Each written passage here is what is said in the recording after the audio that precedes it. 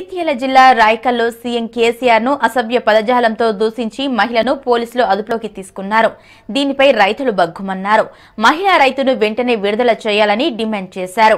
CI Rajesh సంఘటనా స్థలానికి చేరుకుని సర్ది చెప్పినప్పటికీ మహిళా రైతును వదిలే వరకు ధర్నా విరమించేది లేదని రైతులు తేల్చి చెప్పారు.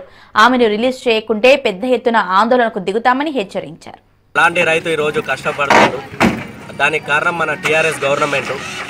ఈ అధికార పార్టీ ఏదైతుందో రైతుల కష్టాలను పట్టించుకోవడం లేదు. యూరియా కోసం ధర్నా చేసిన రైతుపై తప్పుడు కేసు పెట్టి ఆమెను స్టేషన్కు తీసుకువచ్చి ఉంచడం అనేది కరెక్ట్ కాదు. ఆమెపై పెట్టిన తప్పుడు కేసును వెంటనే ఉపసంహరించుకొని వెంటనే వారిని విడుదల చేయాలని కోరుతున్నాము. రైతు లేని రాజ్యం లేదు. అలాంటి రైతు రోజు కష్టపడుతుందంటే దానికి కారణం మన తెలంగాణ ప్రభుత్వం. కాబట్టి వెంటనే రైతును విడుదల చేయాలి. అప్పటి వరకు ఈ ధర్నా అనేది ఇలాగే కొనసాగుతుందని తెలియజేస్తున్నాను.